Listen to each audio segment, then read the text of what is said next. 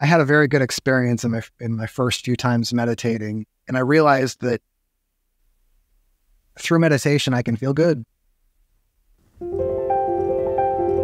My name's Greg Cannell. I am an artist by nature, but an engineer by trade. I went to art school got involved in the entertainment industry in Los Angeles, and at some point wanted to get out of it um, and get into sort of more proper software development. Learned the necessary skills and made the transition, and now I live actually stereotypically in Silicon Valley. I've been basically using marijuana daily to sort of regulate my natural sort of mental interest and had been doing so, I guess, effectively for 20 years, even. I was kind of tired of it. There's side effects that come along with that habit. And so I wanted to do something else. There were a number of appealing factors to TM. The personalities attached to TM actually were were attractive to me. I'm a big fan of David Lynch, I, you know, with my background in movies and art. And, you know, of course, Jerry Seinfeld. And then the I was also looking for something that I could incorporate into my life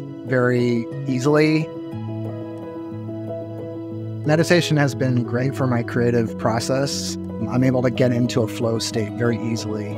I mean, I'm also a musician, and I wasn't making great progress on my guitar practice or piano practice. With TM, I've I'm surprised myself at how much progress I've made. It's my memory is better, my muscle memory is is I think better and even sort of faster. Progress I've made in the last 2 years is more than I made in at least a decade ahead of the concentration, I think, is the thing for me that's really been much better. I've learned to read music better, can remember longer passages of music more easily. I think the benefits in terms of interpersonal relationships, as, as great as the, that it has helped me sort of feel good on the inside and has maybe helped me creatively, the benefits for just day to day life, you know, interacting with your coworkers, handling stress at work, how you feel when you're walking down the street bumping into strangers, um, having random conversations. All of that stuff is just somehow so much better. And I think that's also due to meditation.